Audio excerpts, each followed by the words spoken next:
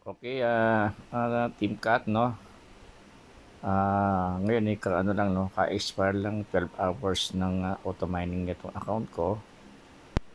So, sabi dito, click the button to get earnings, no? So, kailangan natin i-click ulit ito para magtuloy-tuloy yung automatic mining nitong platform nitong Catstar para tuloy-tuloy din tayo mag-earn ng ano ng cat token uh, crypto, cryptocurrency o tinatawag na digital asset no?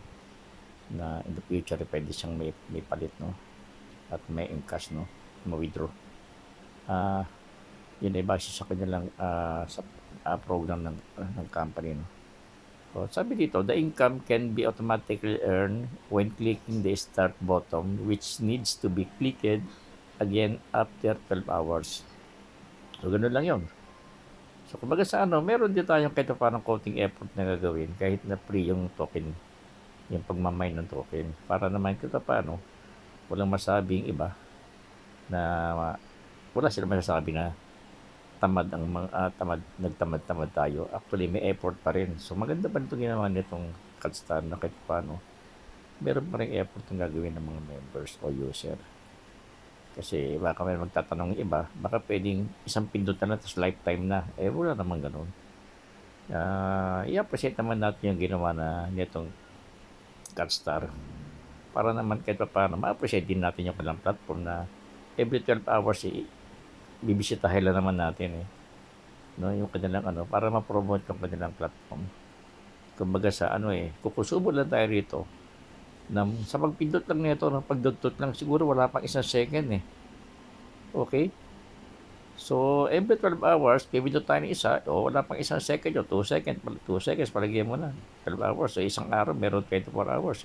So, sa makatuwid, sa sa 20, 24 hours, sa isang araw, kukonsumo lang tayo ng ano, ng uh, 2 to 3 seconds siguro. So, yun ang ating effort. So, mag na lang tayo. Automatic, kapag pinindot man natin to, kusa na siyang mag, ano, magtisima ulit. Sabi dito, no? The income are calculated by CAT, which can be withdrawn, sold, purchased, consumed, and uh, which can be withdrawn, sold, repurchased, consumed, and purchased in the future for cir circulation and consumption inside and outside the application, such as NFT blind boxes. Yung NFT, tinatawag na non-fungible token. Tinatawag na pag non-fungible sabihin yan, hindi siya, na, not, hindi siya matatamper, no? At hindi siya pwedeng kopyahin. Unique siya. Okay, so try natin ngayon to, no? I-start up natin to ulit. I-reactivate natin ulit yung pagmamine netong system para makaipindra tayo ng libreng token, ka token points. Okay? Ayan. So, Nagmamine na naman, no? So, tingnan natin kung ilan na namine natin. Kiklik na natin to. I-click na natin to. Kiklik lang ito. Itong, itong part na to, no? Ganyan lang yan. Pipindutin ko lang yan. Ayan, pinindot ko na. O, makikita nyo rito yung summary ng mga na ano niya na, no? Sa makapansin nyo rito, nagsimula ako ng ako din noong December 3, 2022. So, ito yung mga naipon ko ngayon. Awa ng Diyos, no? Sa, nakuha lang sa tiyaga. No? Sabi nga, pag may tiyaga, may nilaga. So actually, base sa observation ko nito, uh, dito sa Catstar nito, parang kakaunti pa lang ang mga Pinoy vlogger na nagbablog nito. Karamihan nakikita ko ay mga ibang lahi, Indiano, may Arabo, iba-ibang nationality. No?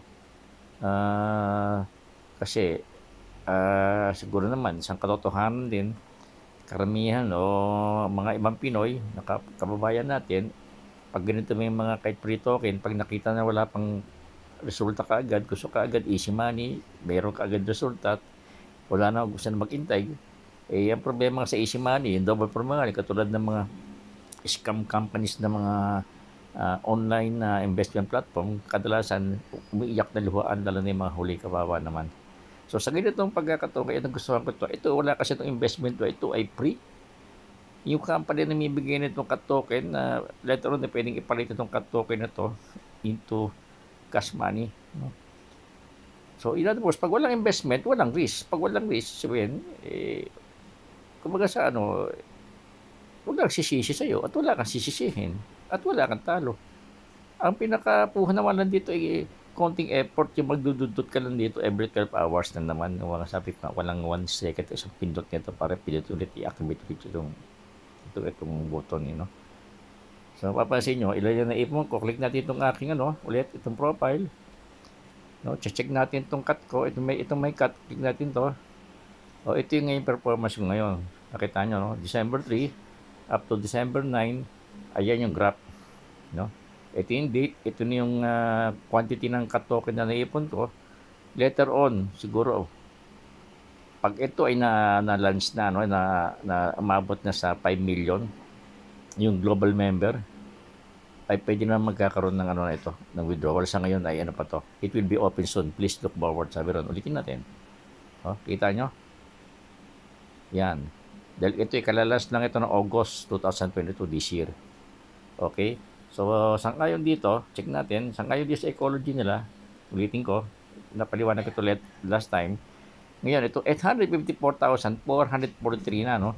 Pag umabot ito ng 5 million global users, no, na nagmamine, itong cut token, yung cut uh, token, eh magkakaroon na ng cut trading will be officially open according to sa kanilang schedule dito. Ang target nila ay October 2020 next year ay ilalunch na yung trading nito. Yung time na yon, pag dumating ang time na yon, hopefully, God willing, ay pwede nang ano no, may palit yung naipon natin. Kung talaga nito, balik sa profile natin. Click ko sa wallet ko. No? Sipin nyo, naipon ko na ay almost 20,000 na, no? Na cut token digital asset, no? Okay, no? Sipin nyo, kanina nga ng cut token nito USDT, itong Bitcoin, tsaka Ethereum, no? Ito, ito, ay, itong naipon ko na to, katumbas niya itong almost 70 dollars USDT. Na ang kapalitan nito, ito, pag ginabide mo nito, is 0.0035 dollar per cut token o nasa 0.19 centavos in peso.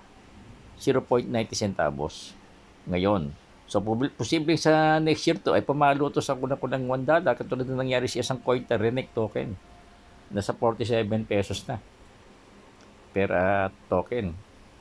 So, so next year, kapag uh, withdraw natin, may sila sa KYC o yung know your client, no? Kung saan eh, bago tayo makapag-withdraw, i-require tayo ng ano, ng ID, government valid ID at kukunan tayo parang sa yung katulad ginawa sa mga GCash o Paymaya para malaman kung legit talaga yung nag-sign up. Ito kaya dito sa dito sa Catstar, hindi pwede dito yung uh, fake account kasi hindi rin niya, hindi, hindi niya rin mawi-withdraw. Ito sa isang uh, ito isang sinyalis na kumpanya ay seryoso no na ipatupad ito isa katuparan para wala nga namang ano makakapasok na fake account lahat ay legit. Okay? So yun lang muna ang aking may update no. Uh, again, uh, happy uh, cut mining sa inyong lahat. And good luck to all of us and God bless. Okay, bye-bye.